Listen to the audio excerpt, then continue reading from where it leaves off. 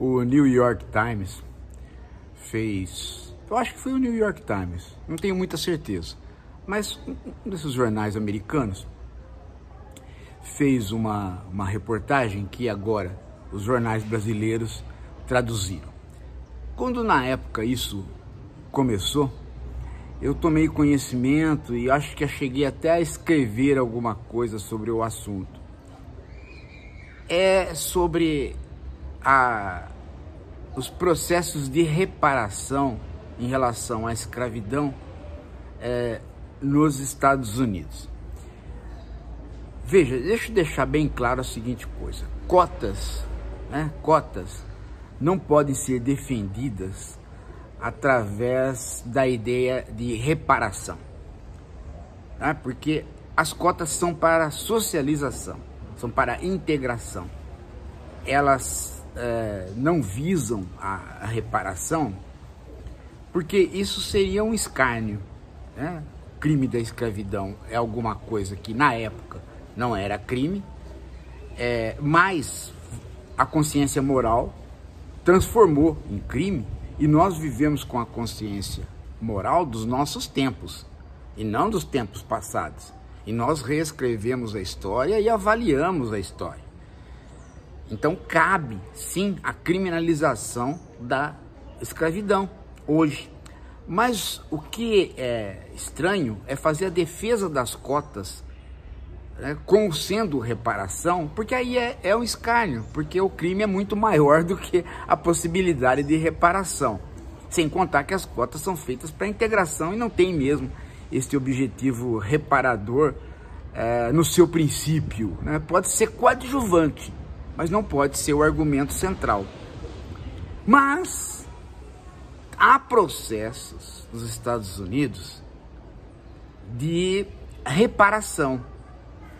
E aí a questão é muito mais complexa, porque envolve realmente um dinheiro maior e envolve né, um conjunto de provas de que instituições que são existentes hoje e que lucraram demais e têm um patrimônio imenso, né? é, assim se fizeram pela escravidão. E os seus acionistas, entre os seus acionistas, havia exatamente aquelas pessoas que faziam pessoalmente o tráfico de escravos volto a dizer para vocês, né?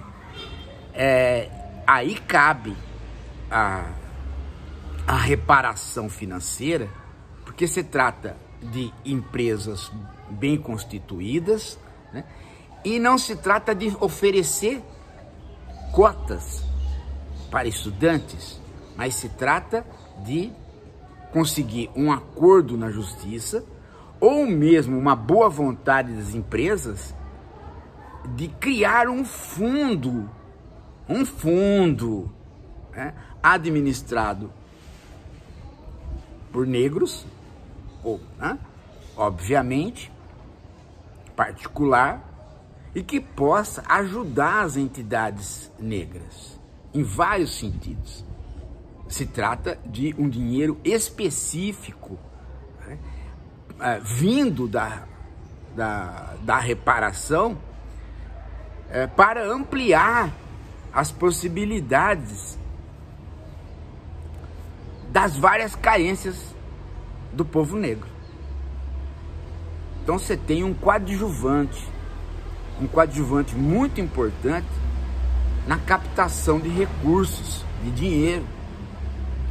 É claro que ninguém aqui é ingênuo e sabe muito bem que quando você cria um fundo dentro do capitalismo, você alimenta o capitalismo financeiro.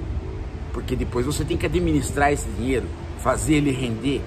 Você não pode guardar no banco. É?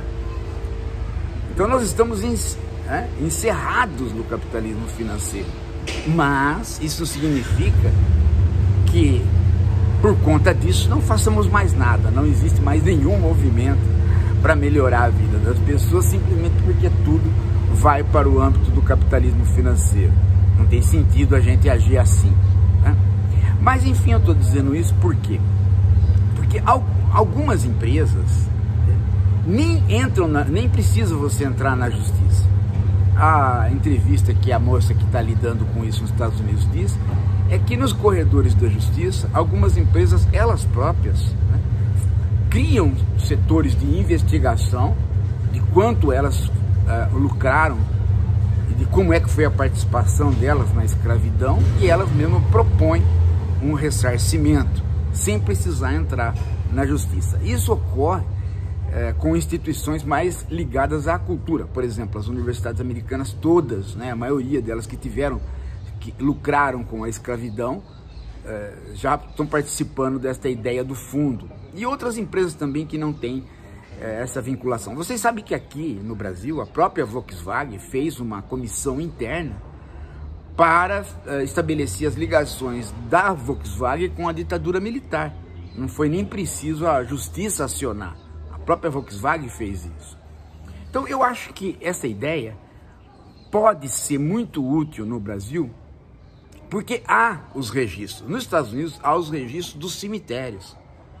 Né? Populações inteiras que foram é, mortas e foram enterradas depois de cumprir o seu itinerário aqui é, no, na América, ou mesmo antes de cumprir o itinerário, porque vieram pelos navios negreiros e logo pereceram.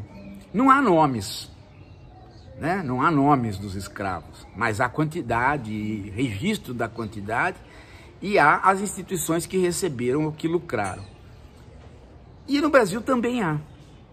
E no caso do Brasil, você tem, é, recentemente, o próprio Banco do Brasil admitindo a sua participação na, na escravidão. Onde eu acho que este fundo deveria ser aplicado? Acho que toda vez que você fala em dinheiro e montante de dinheiro, você tem N pessoas querendo administrar esse dinheiro. Mas eu creio que a ideia que eu vou dar aqui é uma ideia que eu acredito ser bastante interessante.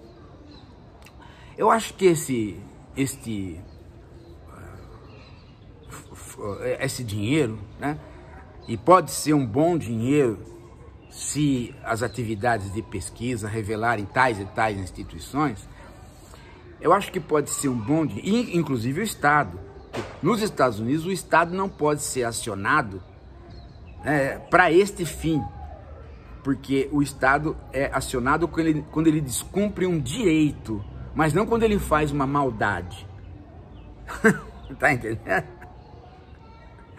é, é, tem lá uma, uma sutileza que impede esse tipo de coisa. Né? Mas no Brasil, nós podemos fazer. Podemos pedir uma indenização para o Banco do Brasil e outras instituições que se beneficiaram. E aí, eu creio que a melhor maneira é juntar a fome com a vontade de comer. Eu acho que o dinheiro poderia ser carreado né, é, para, a, um, para o fundo que já foi criado, que é o fundo para criado né, com uma ideia da debit implementado pelo Lula e pelo MEC, que é o fundo que está sendo criado para manutenção do aluno do ensino médio no ensino médio evitando a, a evasão e contribuindo para que quem vai para o ensino médio fique no ensino médio, que é aquela história da, da bolsa. Eu acho que uma parte poderia ir para aí, né, é, centrando fogo né, nas é, regiões onde o ensino médio é uma dificuldade maior para os negros. Então, onde você tem, não precisa excluir os brancos. Acho que é simplesmente a seguinte coisa, né? Onde você tem uma porcentagem de 80, 90% de alunos negros em sala de aula, acabou. Acabou, já é o suficiente para você não precisar da bolsa individual. Bolsa individual todo mundo vai pegar, mas o dinheiro vai para o fundo como um, um, um apoio, né, com um apoio maior.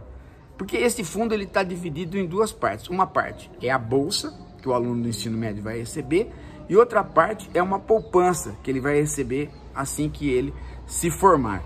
Eu acho que pode ser feito a seguinte coisa, né? uh, esse fundo vai exatamente para a bolsa, mas ele pode, né, para não haver diferença de bolsas entre o branco e o negro, ele pode ser carreado para a poupança. Ele pode ser um fundo que alimenta a poupança negra é, maior do que aquele que alimenta a poupança branca. Então, quando você termina o ensino médio, é, você vai pegar a sua poupança e, sendo você negro, tem um aporte que não vem do MEC, que não vem da regulamentação deste fundo, que vem um aporte do fundo, que é o ressarcimento das empresas que lucraram com a escravidão. Então é uma espécie de apoio né? é, sem que macule o princípio da bolsa. Quer dizer, a bolsa é para todo mundo, brancos, negros, pardos, índios, azuis, amarelos, plutonianos, mulher, homem. A bolsa é para todo mundo, igual no ensino médio. E por desempenho é que essa bolsa tem que ficar com o aluno. Mas, né, na hora da poupança, o, o, o negro ganha, uma, um, além da poupança do governo, uma outra poupança né, que vem junto por conta desse desse dinheiro do ressarcimento das empresas que é, lucraram com a escravidão. Nós precisamos, veja, é, é, isso é muito importante porque isso pode ser um bom dinheiro, como também não pode. Nos Estados Unidos é um bom dinheiro. Aqui eu não sei ainda, mas mesmo não sendo, ele sinaliza, ele sinaliza para o próprio aluno e para a sociedade que se sabe hoje nas leis de hoje, na ética de hoje, que nós retroagimos, que nós reescrevemos a história e avaliamos que, mesmo sendo uma mercadoria, né, a mercadoria era mercadoria na época. E nós hoje consideramos um, um crime, um mal moral, talvez um dos maiores males da humanidade. É esta é a ideia, esta é a boa nova. Leiam a reportagem da moça. Eu vou deixar aqui embaixo né, a entrevista com ela, do trabalho dela nos Estados Unidos e o que se pode fazer no Brasil. A gente pode começar a pensar a partir daí. É isso. Daqui a pouco a gente volta.